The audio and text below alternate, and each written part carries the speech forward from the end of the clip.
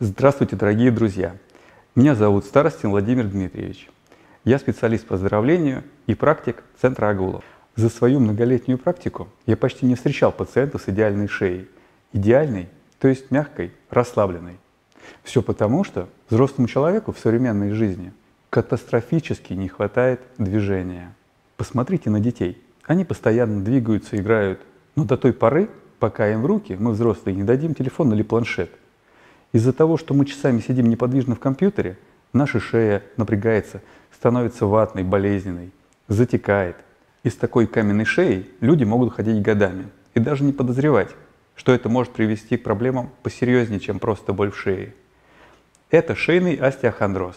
А это снижение слуха, зрения, проблемы с зубами, головокружение, вплоть до дезориентации и потери сознания. А это уже очень опасно, особенно если вы находитесь за рулем автомобиля. В этом видео я покажу вам простые и универсальные упражнения для расслабления шеи.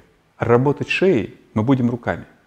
Предварительно снимите с рук украшения, чтобы не травмировать ими кожу. Для начала разотрем и разогреем наши руки. Энергично потрясем ими не меньше минуты. Делаю на этом акцент. Это действительно очень важно. Желательно руки разогнуть до конца, до прямых рук. Так, поехали дальше. Первое упражнение вы можете выполнять стоя или сидя за столом, если вы находитесь в офисе.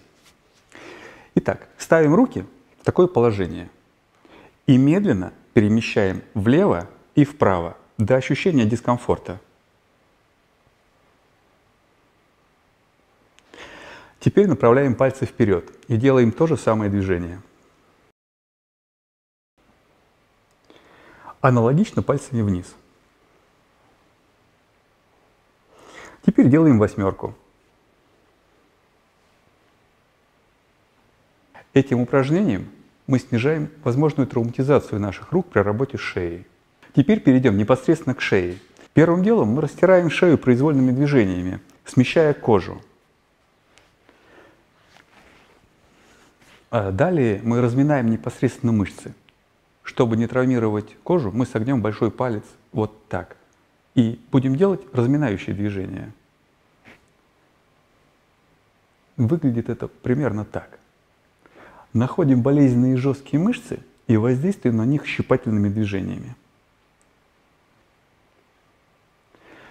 Следующий комплекс упражнений назовем его «да-да», «нет-нет» и «ай-ай». Первое – это кивательные движения, как будто вы соглашаетесь с кем-то в разговоре. Выглядит это примерно так. Соответственно, нет-нет и ай-ай. Движение мы совершаем с минимальной амплитудой. Делаем не меньше минуты, но желательно каждый час. Если нет возможности совершать такие простые движения, мы берем в руки любую карточку и делаем Простые расчесывающие движения от макушки к основанию.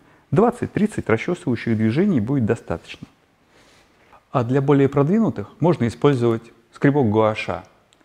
А скребок располагаем обязательно под острым углом. Показываю еще раз. От макушки и к основанию. Еще мы можем размять затекшую шею, используя такое подручное средство, как ремень или пояс – его мы просто накладываем на шею и растираем, но без фанатизма.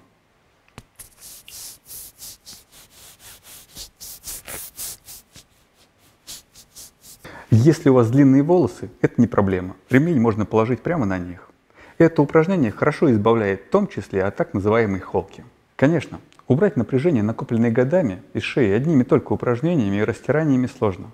Намного эффективнее с этим справится профессиональный массаж шеи важно глубокое, глубокое воздействие на мышцы, воздействие на триггерные зоны.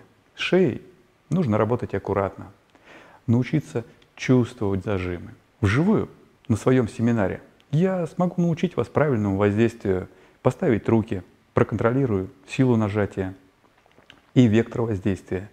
Этот массаж может освоить любой человек без медицинского образования. Это будет ваш хороший инструмент профилактики многих заболеваний и снятия напряжения. Ссылка на курс массаж шеи будет под этим видео.